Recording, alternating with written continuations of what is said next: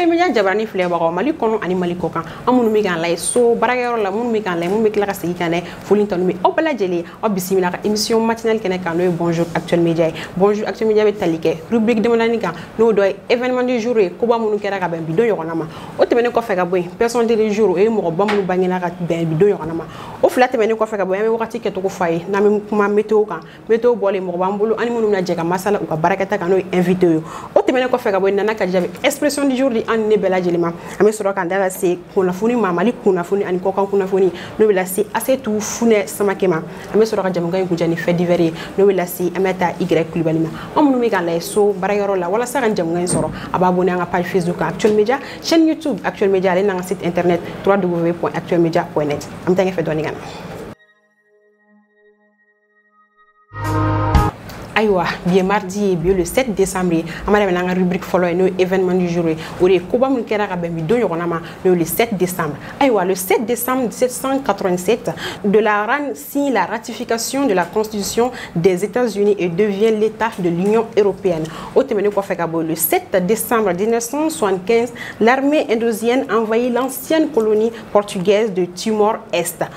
o tɛmɛnen kɔfɛ ka bɔ yen an bɛ sɔrɔ ka kun cɛ ni bi ye journée dɔ ye journée min dédiélen eh, don fɛn dɔ lama eh, fɛn dɔ kama n'o ye le 7 décembre 1996 la journée de l'aviation civile internationale est proclamée par l'assemblée générale des nations unies ni ne kun ye événement du jour ye ko wa minnu kɛra ka bɛn bi don ɲɔgɔnna ma an bɛ tɛgɛ fɛ dɔɔni ka na jɔni personnalité du jour ma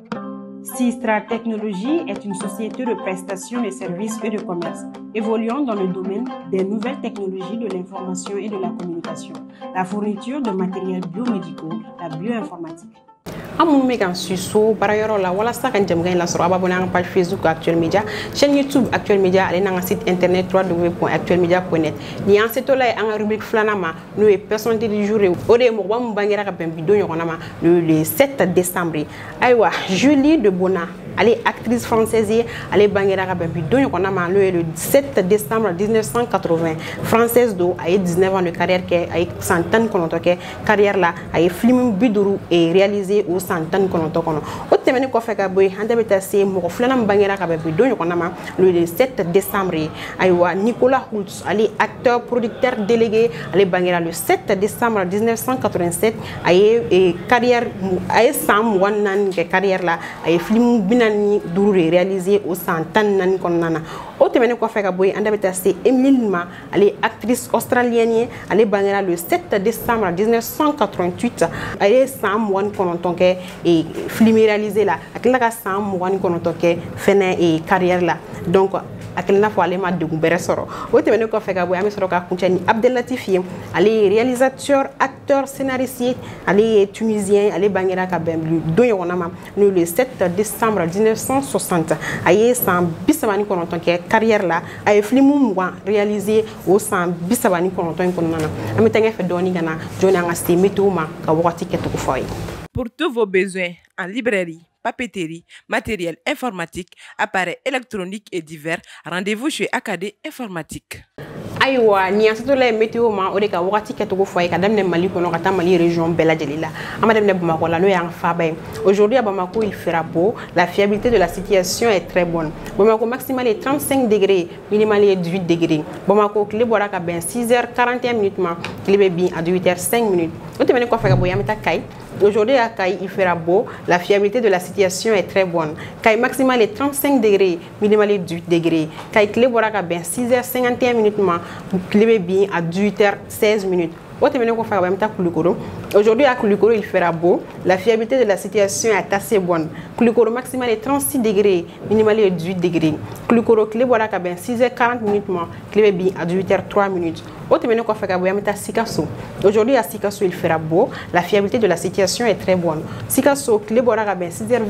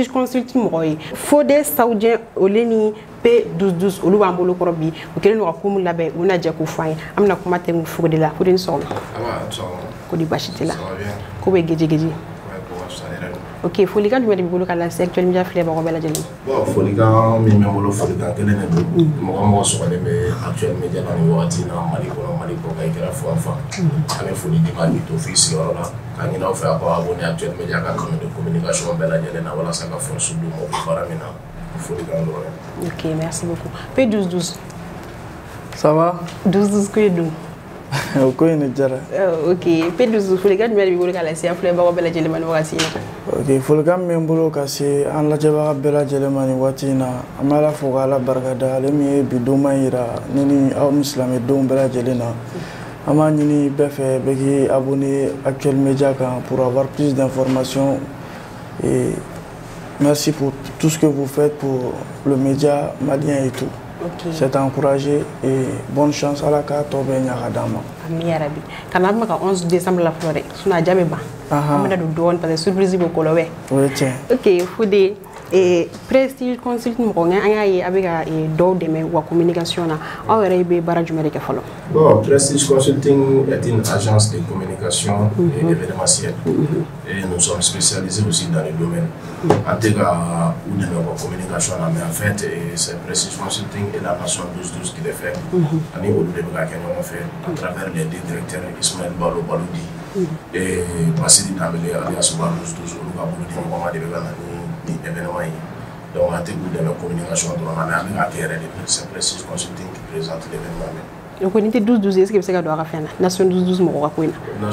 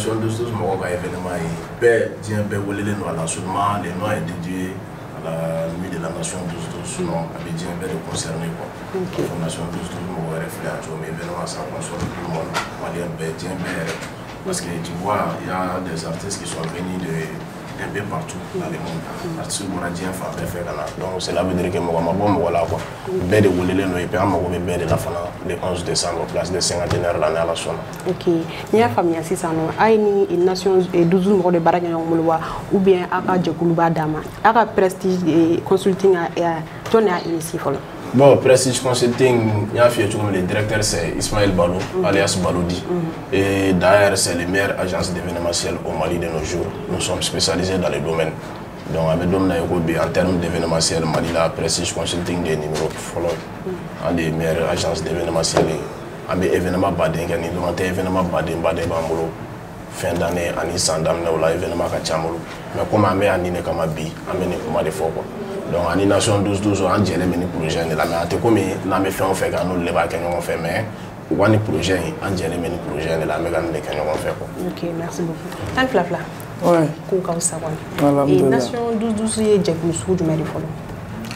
bon tout d'abord nation 12 12 ye jɛkulu ye jɛkulu min bɛ. kuma a yɛrɛ kan c'est à dire nation dusu sigira ni kan min ye c'est sensibiliser la jeunesse malienne minnu jeune minnu b'a ɲini ka bɔ mali kɔnɔ ka taa kɔfɛ ka taa fɛn ɲini pour que u bɛ se k'a dɔn ko maa i bɛ se ka fɛn bɛɛ sɔrɔ i faso la a sɔrɔ i ma bɔ donc o sensibilisation kɔnɔna la ani ka fɛn ɲini i yɛrɛ ye k'i sigi k'a fɔ ko karisa ye karisa ye nin ye karisa bɛ se nin na nin bɛ karisa bolo fo n ka kɛ fɛn dɔ ye fo que jeunes ko de b'o kunkolo la jeunes ka bila u kunkolo la ko foyi tɛ ni baara tɛ wa baara min fana don n'i y'i kun ɲɛsin min ma fo que kanu ka k'a kɔnɔ et puis il faut être bien déterminé aussi dans tout ce que tu fais donc nation 12 an bɛ message caman tɛmɛ an ka kow fɛ wa kosɛbɛ an bɛ an ka kɛlɛba ye min yɛrɛ fana ye kosɛbɛ tuguni o ye a ka dɔn anw ye farafinw ye an bɔra an bɛ afiriki yan mɛ k'a dɔn ko kɔfɛ mɔgɔw fana ko u bɛ ka farafinna miiri fɛn min ye farafinna to ye farafinna ka bon ni nin bɛɛ lajɛlen donc faut que jeunesse k'a dɔn ko diɲɛ laban afiriki de don a bɛ laban afiriki de maa o maa bɛ kɔfɛ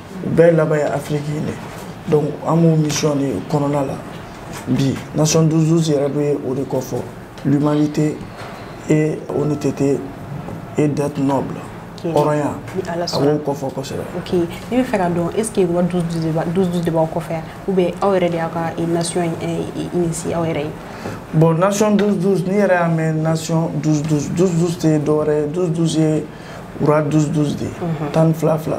donc nation dusu dusu ye jɛkulu ye o jɛkulu ni ale ye o président d'honneur ye mhm. ni hakilina in taara ka sigi nation dusu dusu ka a da ale kan ka ta ka lajɛ ale ye parcours minnu kɛ a ka jɛnatigɛ la a tɛmɛna sira minnu fɛ mhm. n'o ye a ye fɛn caman kɛ mɔgɔw b'a ka biografi camanw dɔn a ye samaraw siri ka tɛmɛ a ye wotoro poussé yan ka tɛmɛ a ye nɔgɔsow monté jusqu'à la ka na jakarta représenté mali la mɔgɔ fɔlɔ min y'o kɛ o kɛra ale ye k'i to la ka mobili feerew daminɛ k'i to la tuguni ka na don bureautigiw ni eh, eh, location location na meubliw ni fɛnw caman mais bi alhamdulila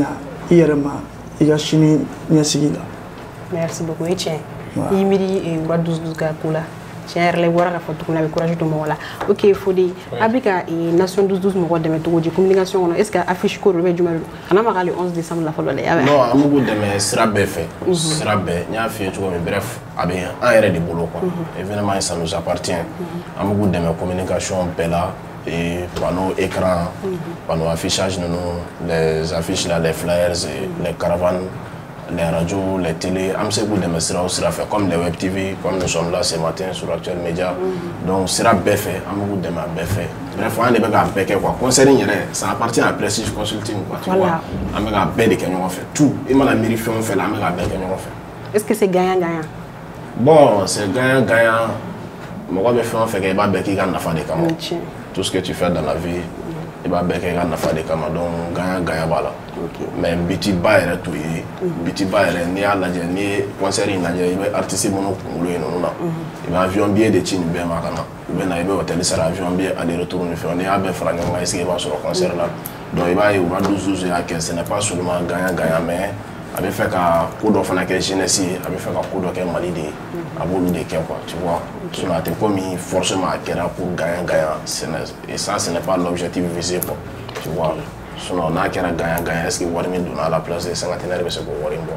avec entre 2000 francs a kuma ka ca dɔɔni dɛ a kuma ka ca tu vois donc a y'a dabɔ pour que ka jeunesse la nisɔndiya et puis ka fɛn dɔ kɛ mali fana ye quoi tu vois voilà 12 12 ouais. mun de bɛ yen le 11 décembre Le 11 décembre, c'est la nuit de la nation 12-12 mm -hmm. et ses partisans. Mm -hmm. Donc c'est une nuit qu'on a dédiée à tous les Maliens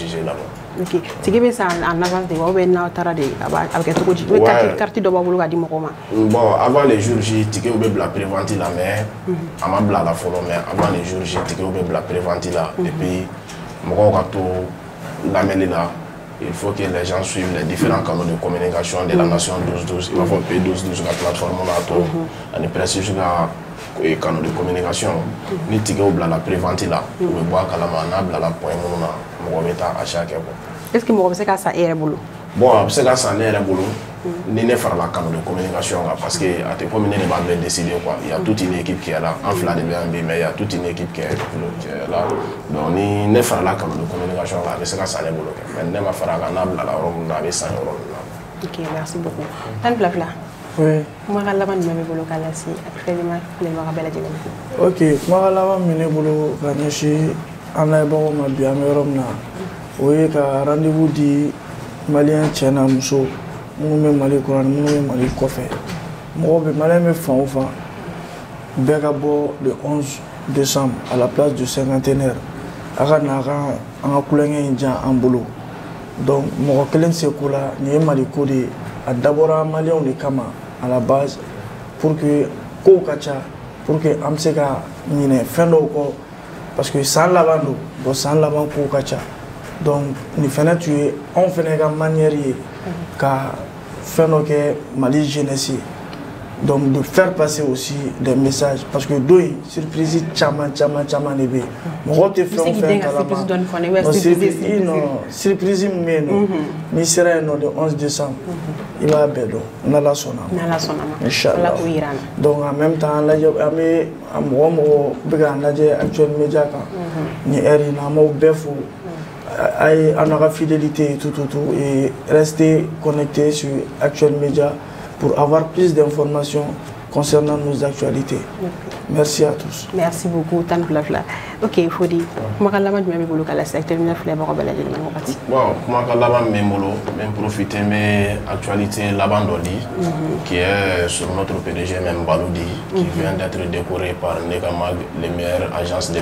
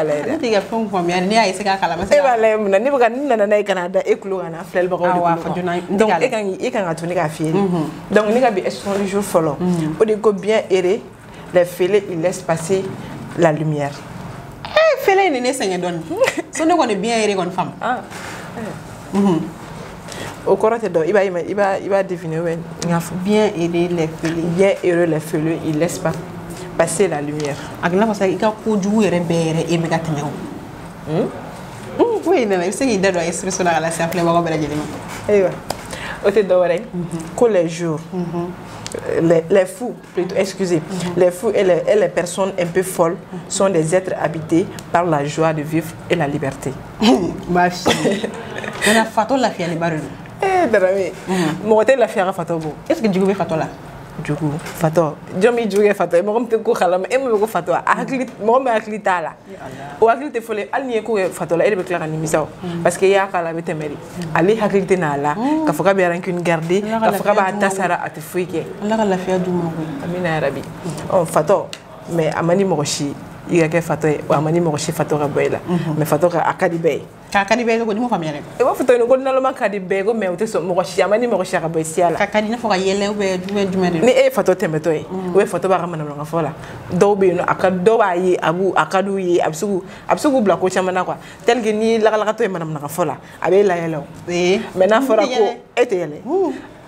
ayiwa ni lakala tɔgɔ ni manamaka fɔ hali ni ti yɛlɛ mɔgɔ caman bɛ yɛlɛ mɛ n'a dugawu kɛra e ko k'a bɔ si la i man di ye yɔrɔ o tɛ nana ka ɲɛfɛ dɔɔni kana an tɛ ɲɛfɛ na bɛ nin fɔ de cɛ tɛ a fɔ ko cɛ do bɛ cɛ tɛ voilà ni exception bɛ ten tɔ de donc mɔgɔ i mana lafiya togo togo i tɛ lafiya ka tɛmɛ fatɔ i b'a dɔn ko hadamaden sɛgɛnniba de don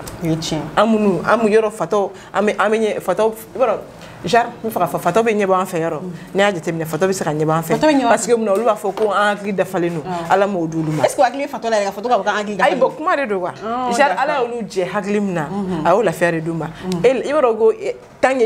i ka mentalité dafalen don i lafiyalen tɛ ni susi yɛrɛ b'i kan a ma nɔgɔn susi a tɛ ban yɛrɛ mɔgɔ la ni susi b'u kan a tɛ fili yɛrɛ problème b'i la i ye kasi misɛnninw kɛ i tiɲɛnen don fɛn bɛɛ kasi min bɛ ko wɛrɛ ye an bɛ taa yɛrɛ kulubali sɔgɔ n yɛrɛ ɲinɛ fɔra ko an bɛ teliya ka taa ni ye mɛ o bɛɛ la i segira ayiwa ne ka folikan de kɛ dɛ i bɛ folikan kɛ mun la donc nin institution yɔrɔ la an bɛ se ka fɔ ala k'an lafiya mɛ ala k'an lafiya i b'a fɔ fatɔ lafiyalen don cogo min na ani liberté parce que i b'a dɔn ko liberté i tɛ i tɛ liberté liberté ka di yan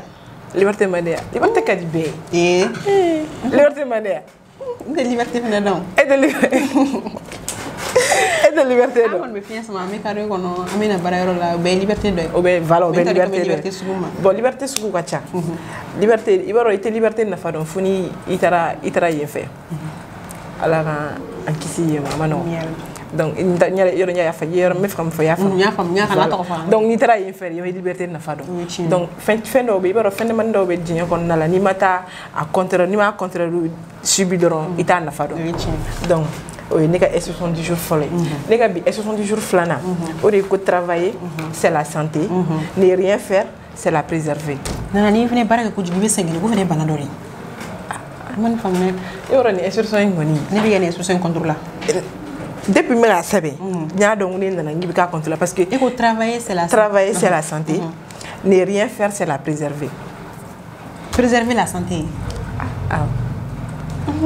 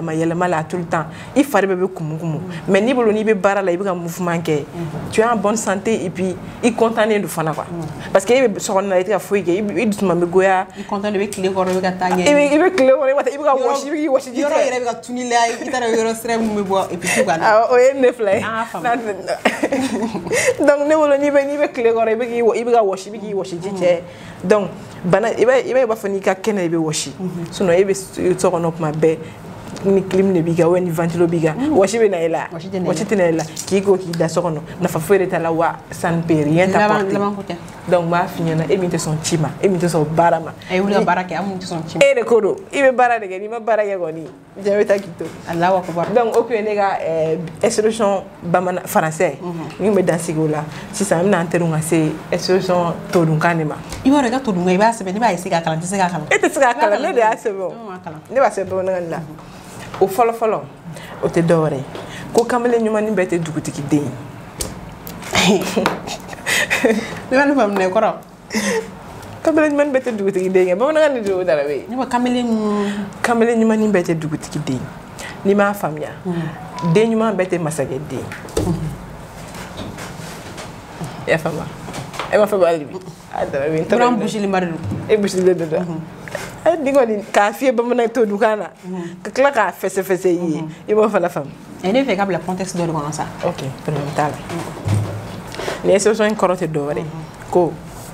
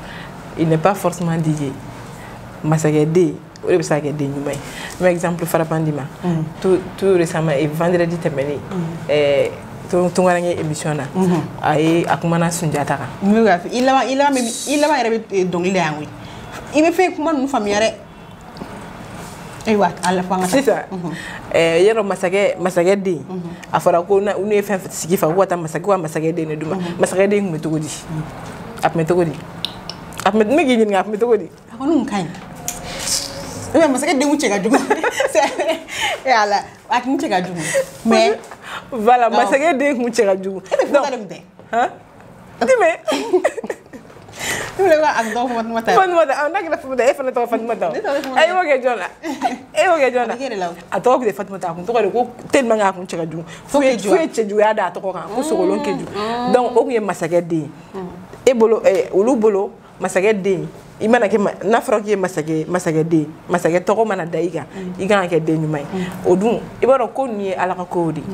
donc ala tɛ se ka bɛɛ dan k'a fɔ k'i fa ye masakɛ k'i ka kɛ den ɲɛnama ye o tɛ se i b'a dɔn fantanden dɔw bɛ yen n'i y'u ye i b'a fɔ jinɛ i sɔn n'o fana ma donc nin solution bɛ k'a jira k'a fɔ l'apparence est trompeuse ni y'i ta kuma dɔw fɛ ka fɛn dɔw jateminɛ i bɛ taa sɔrɔ o n'o ko tɛ kelen donc nin yɔrɔ la ko kamalen ɲumanni bɛɛ tɛ masakɛ den ye voilà o faamu i y'a faamu a bɛ ka fɔri koyi bamanankan in na donc n'an bɔr'o la an bɛna se filanan ma n'o ye institution naaninan ye o de ye ko sabu de ye juru se kɔlɔn na nana juru bɛ kɔlɔn na koyi juru tɛ bila kɔlɔn kɔnɔ juru bila yɔrɔ tɛ kɔlɔn kɔnɔ dɛ juru bɛ bila kɔlɔndali la sababu de bɛ juru se kɔlɔn kɔnɔ ni bɛna ji soli n'i bɛna ji bɔ ji tɛ ji soli mɔgɔ bɛ ji soli kɔlɔn na n'i bɛna ji bɔ n'i bɛna ji bɔ donc sababu de b'a to juru bɛ se kɔlɔn kɔnɔ sinon a bila yɔrɔ tɛ yen o juru bɛ bila kɔlɔnda de la il n'est pas forcément yɛrɛ de juru ka bila kɔlɔnda n'a ka di i bɛ taa n'i ka juru ye aw ka so n'i bɛna ji bɔ i bɛ na ni juru y'i fɛ donc sababu de b'a se kɔlɔn in kɔnɔ A ne ka nin kuma in n b'a f'i ye darabe sababu sababu fo fo fo fo alijinɛ fo alikiyama fo alijinɛ awa n'i y'a kɔrɔ i t'a kɔrɔ tɔ wala ala k'an kisi sababu jugu ma o kɔrɔ sababu de b'a to eh, juru bɛ se kɔlɔn kɔnɔ sababu de bɛ juru se kɔlɔn kɔnɔ kɛ n'i y'a i bɛna ni juru ye i bɛna ji de bɔ sababu ji ji bɔ sababu de y'a se kɔlɔn kɔnɔ donc n bɛ fɛ k'a f'i ye sababu man dɔgɔ kana jɔ sababu la i b'a dɔn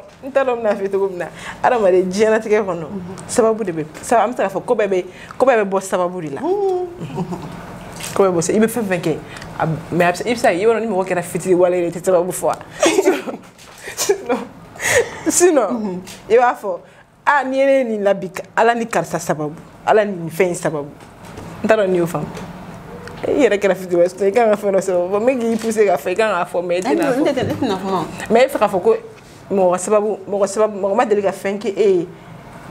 mun bɛ hakili jigin sababu la i bɛ se k'o fɔ o ye don o don bɛ kɛ wagati bɛɛ fa la donc sababu bɛ tentɔ de ala k'an kisi sababu jugu de ma sinon diɲɛlatigɛ ko diɲɛlatigɛ kɔnɔna la sababu tɛ ban tile kɔnɔ mɔgɔ bɛ se ka fɔ hali ni ye ne nin na bi i b'a fɔ karisa ala ni karisa sababu ou bien hali ni y'a ye ne ye nin wari sɔrɔ bi ala ni karisa sababu donc ala ka sababu ɲuman ka ɲi an b'a fɔ an filɛlibagaw ye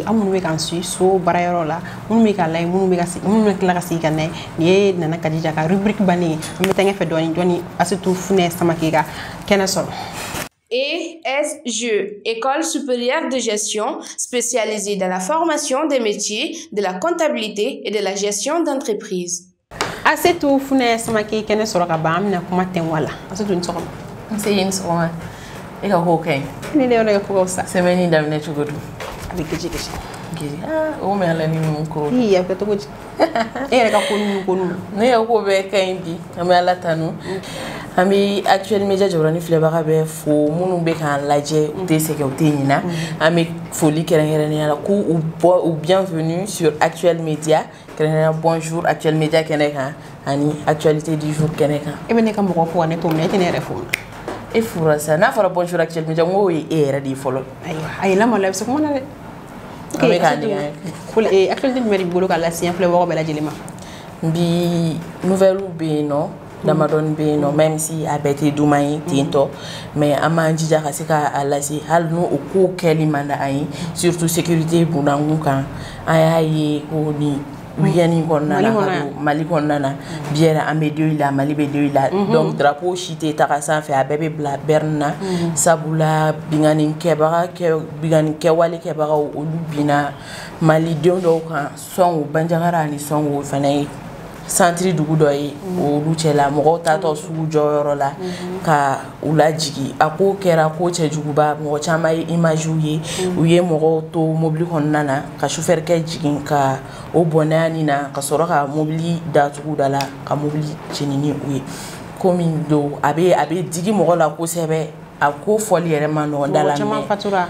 mɔgɔ bi saba ani kelen communiqué officiel y'a yira ko mɔgɔ bi saba ani kelen fatura mɛ mɔgɔ dɔw fana ko ko fo bi saba ani saba bon mɔgɔ caman fana banana olu bɛ sevare somuni dɔ la ok ni bila kɛra cogo min an ka laɲini tɛ fɛn ka fara kan i bɛ tila ka walawala ye mɛtiri don n'a ka ala ka jɛ donc actuellement bɛ tɔgɔ la an tɛ foli ye an bɛ foli kɛrɛnkɛrɛnnen kɛ ala ka hinɛ tagabaga ninnu na mm. ka yafa kɛ folo ninnu ma kɛnɛ minnu banana ala ka nɔgɔya kɛ olu bɛɛ lajɛlen ka an kisi a ɲɔgɔn caman ma ok kunnafoni filanan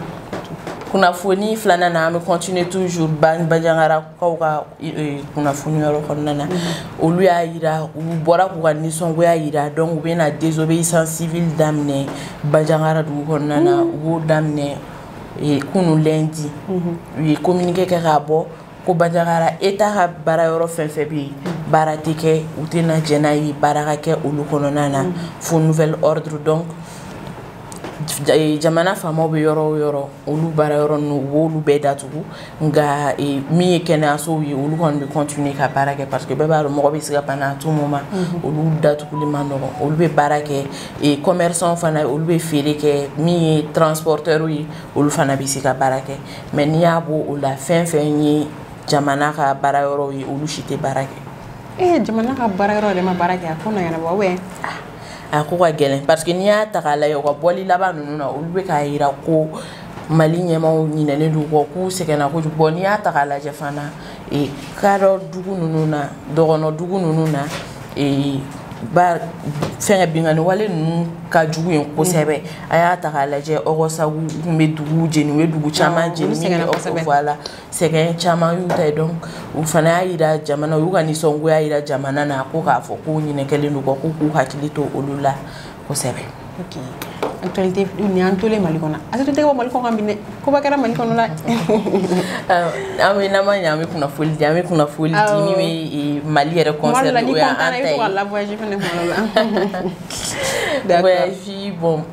ko minnu kɛra kɔkanna na mm. a caman bɛ yen nɔ n'i bɛ information fana classe i b'a ta k'a lajɛ min bɛ en lien avec les maliens mhm. o fana bɛ olu kunnafoni mhm. en plus de ça on va se sentir concerné mhm. voilà mais ni actualité minnu don ni a tɛ e, jamanadenw yɛrɛ concerne kosɛbɛ kosɛbɛ kosɛbɛ o faamuyali fana ma nɔgɔn ten tɔ ça c'est un plus pour nos followers actualité sabanan ye min ye an ka homme politique n'u b'a fɔ a ma ko Isa Kawujim a ye a ka mankanw bɔra fan bɛɛ fɛ u tun y'a minɛ ko atteinte au crédit de l'État parce que a bɔra ka laseli dɔw kɛ mm. min tun ma bɛn k'a tɛ bɛn jamana kan a bɛ mɔgɔw pousser ka bila mm. ko kɛbali kɛw la et tout donc procureur tun y'a a fana wele mm. a ye wagati damadɔni kɛ a datugulen don ɔ u tun y'a labila libéra liberté provisoire la mm-hmm. yanni a ka délibéré kun cɛ parce que jugement kun kɛra donc juma tɛmɛlen u y'ale ka jugement kɛ mm-hmm.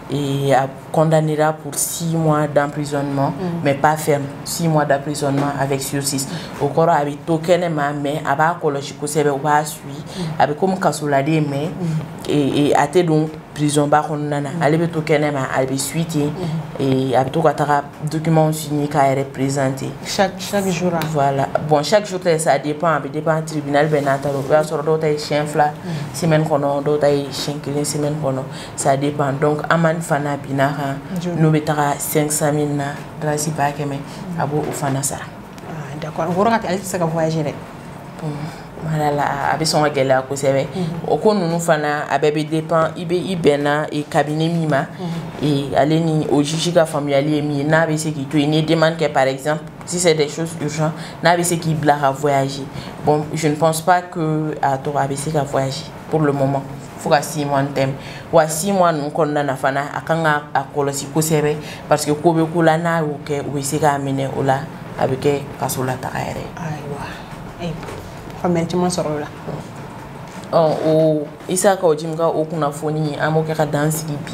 actualité du jour la. ok o diyara n ye kosɛbɛ t'i ka foli ka laban ka se filɛlibagaw bɛɛ lajɛlen ma nin plateau in kan. ala kana kɛ folikan laban ye ala k'a kɛ di. dɔgɔkun ta daminɛ bi don kunnafoni mm. e, e, kumakan laban ye an bɛ foli lase an filɛli jama bɛɛ ma ka tila k'i fo ka an ka kɔɲɔmuso kurakurani fo an tɛ sɛgɛn an tɛ ɲinɛ e fana sa ka na an sɛgɛn an ka man ka sira de ma kɔɲɔmuso joli madame keyita ayiwa ko kow bɛ dimanche Ah, wa an bɛ an filɛlibaga bɛ invité dimanche don ka taa mariage yɔrɔ in na k'a tɛ kɛ basi min bɛ n'an bɛ dɛsɛ actuel media bɛɛ dafalen bɛ kɛ yen. Alahu akubar a bɛ kɛ Kati de wa? Ayi a tɛ kɛ Kati a bɛ kɛ Kalaban ee a bɛ kɛ. A ka ɲi. ok Astou o ye ɲɛngoya y'a ko la wa ou bien mun de don. Ɲɛngoya tɛ dɛ ne bɛ k'a fɔ ne bɛ ka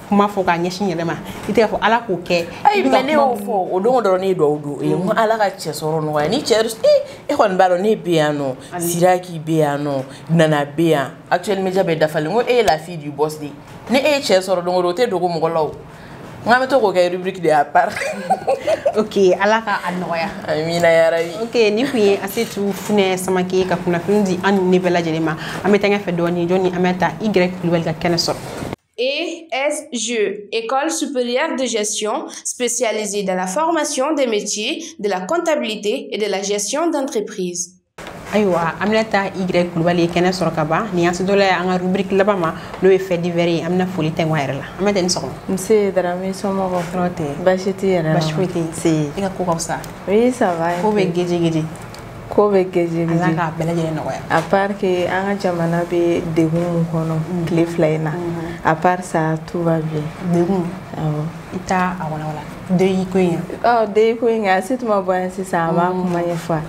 donc nin yɔrɔ la an bɛ tasi bila lase actuel media bɛɛ tɔgɔ la mm-hmm. ka lase banbagatɔ somɔgɔw ma ani fɛn fɛn banana an bɛ dugawu don de kɛ ala ka lafiya di ma ala ka niya di ma bɛɛ lajɛlen n bɛ folikan bɛ don bolo ka la fɛn mɔgɔ bɛɛ lajɛlen foli ta ni bɛ an filɛlibaga cɛ n'a muso denmisɛnnin makɔrɔba ye foli belebeleba ye i yɛrɛ ta e dɔrɔn de bɛ ne ka foli bonya n'o bɛ perese ka na foli belebeleba ye i yɛrɛ ta ye ee sɔgɔmada na darame ne bɛna n da don baabu min na o de bɛ tali kɛ i n'a fɔ n y'a fɔ cogo min na lien de parenté kan ni bamananw yɛrɛ b'a fɔ bamanankan na ko bɔ ɲɔgɔn na ka kɔrɔ ni diɲɛlatigɛ fɛn bɛɛ donc sɔgɔmada in na n bɛna n da so de ma mm. mun y'a to bi n y'a décider k'a fɔ ko n bɛ n ka rubrique k'o kan mm. parce que n ye jateminɛ de kɛ k'a ye k'a fɔ ko bi bi in na k'a fɔ an ka duw kɔnɔna la mm. ça ne va pas i bɛ taa sɔrɔ mɔgɔ minnu yɛrɛ bɔra ɲɔgɔn na kɛlɛ b'u ni ɲɔgɔn cɛ mm-hmm. futinɛ b'u ni ɲɔgɔn cɛ fo ka n'a kɛ kɛlɛba ye mm-hmm. f'a bɛ kɛ kojugu ye mm-hmm. dɔw yɛrɛ bɛ yen nɔ i bɛ taa sɔrɔ u n'u balimaw yɛrɛ tɛ kuma u tɛ ɲɔgɔn kungo kɛ u tɛ foyi kɛ donc balimaya la n'o o ko nana se o yɔrɔ ma o ye ko cɛjuguba ye ko min kan ka éviter yɛrɛ surtout donc sɔgɔmada in na o hokumu de kɔnɔna na n y'a décider k'a fɔ ko n bɛ n da don nin na. i n'a fɔ n b'a fɔ n y'a f'i ɲɛna cogo min na bɔ ɲɔgɔnna yɛrɛ ye balimaya de i ni mɔgɔ fɛn fɛn ye joli kelen ye surumani fɛ wa walima yɔrɔ jan fɛ i n'a fɔ ni ko yɔrɔ jan fɛ o ye i ni mɔgɔ min fa e fa ni mɔgɔ min ba ye kelen ye ou bien aw mɔkɛw ye kelen ye walima a bɛ a moins joli kelen kɔni b'a la a bɛ ɲɔgɔn sɔrɔ mɔkɛ sira fɛ walima mɔmuso sira fɛ walima tɛnɛmuso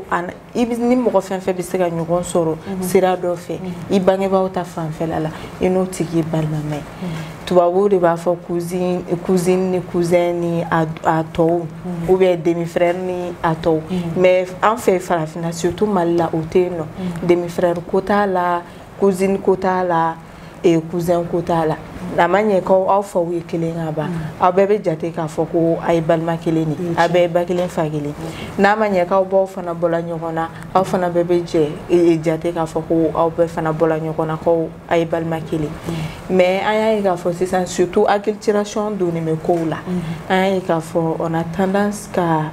an ka pratique kɔrɔlen dɔw bila mm. bi bɛ na i b'a ye i balima de bɛ wuli ka n'i fɛ yen nɔ mm. hali ka sɔrɔ a m'i wele e b'o ta e b'o kɛ kojugu ye mm-hmm. i b'a fɔ nin telefɔnibako tile na e bɛ se ka na cu mɔgɔ kan cogo jumɛn ka sɔrɔ e ma se ka ne wele mm-hmm. siyɔrɔ kɔni tɛ ne fɛ yen nɔ dɛ mm-hmm. ou bien i m'an wele ma se ka dumuni dilan ka bila i ɲɛ dɛ o n'a kuma fɛ a bɛ mɔgɔ jɔn i yɛrɛ la parce que i bɛ taa sɔrɔ a tigi bɛ tɛmɛ sodaba de la sɔni a ka se fɛ yen nɔ soko tɛ o balimaya yɔrɔ in de ko don o de la a bɛ sira labɔ mm-hmm. donc i b'o yɔrɔ de jate minɛ ko dɔ bɛ yen nɔ parce que an ye adamadenya kɛ de telle sorte an ye wari fisaya ni buna adamaden sisan mm-hmm. i b'a ye an de bɛ fɛn bɛɛ kuma bɛɛ hali an ka kumaw la an bɛ wariko de privilégier ni mɔgɔninfin hali ni dɔ bɛ yen nɔ o tɛ e fɛ yen nɔ o ka sira t'e la de fait que a bɛ wari min d'e ma balimaya la e b'o tigi magara mɔgɔ min bɛ don o don a sen bɔ a kɔnɔ kɔrɔ ka taga ka t'e fɛ yen nɔ hali karisa n nana bɔ e la n nana ka n'i lajɛ baasi t'i la kɔni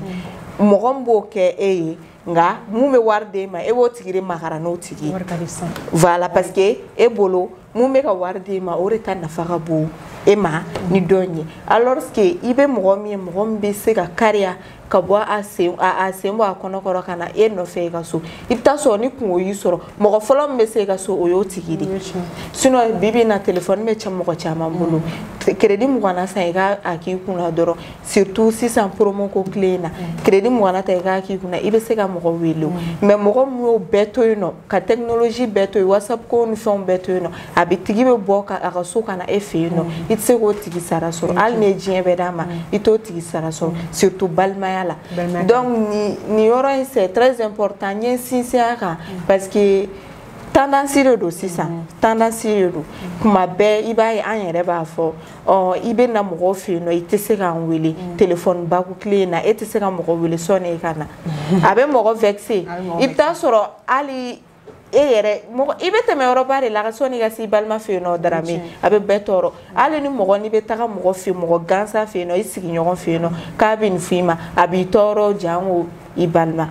donc an ka n b'a fɔ nin yɔrɔ de la n filɛlibaga cɛ n'a muso ye an kana balimaya kɛ wariko ye an ka miiri an ka kɔrɔlenw voilà an ka miiri an ka kɔrɔlenw na an ka dɔn k'a fɔ ko adamadenya ka kɔrɔ ni diɲɛnatigɛ fɛn bɛɛ donc an ka wariko ninnu to kɛrɛda fɛ mhm. an ka ɲɔgɔn kungo kɛ mhm. et puis an mɔgɔ caman bɛ yen nɔ balima caman bɛ yen nɔ balima caman de b'u bolo mɛ u bɛ balima ko manki la u mm. balima tan don mm-hmm. kuma n'a kɔrɔ bɛ ɲɔgɔn na donc an k'o o yɔrɔ ninnu an k'o bɛɛ to yen nɔ mm. an kana balimaya dan kɛ k'a fɔ ne fa ne dɔgɔnin yɛrɛ yɛrɛ de ye nin ye ne ba ne de bɔla yen nɔ nin de dala ne kan voilà yɛrɛ yɛrɛ i n'a fɔ an yɛrɛ b'a fɔ cogo min na nin ye n wolowolo dɔgɔnin de ye an ka balimaya b'o kadara kɔnɔ an ka kɛ depi fɔlɔ la an ka cɛkɔrɔbaw tun b'a kɛ cogo min na a ka ca ala fɛ i b'a ye ko caman bɛ an ka duw kɔnɔ belebeleba bɛ bɔ a la darami sɔgɔmada in na ni ne tun bɛ ne bolo ka se an filɛlibaga cɛ na muso bɛɛ ma i ka kumakan laban et puis bon n ka kumakan laban ye mun ye dɔrɔn j'espère que tulo bɛna kɛ tulo kunnandi halisa i n'a fɔ an b'a fɔ cogo min na komi kuma ka gɛlɛn ni n'a sɔrɔ an ka kumaw kɔnɔna la an donna mɔgɔ dɔ gasi la an bɛ yafa deli u fɛ u ka to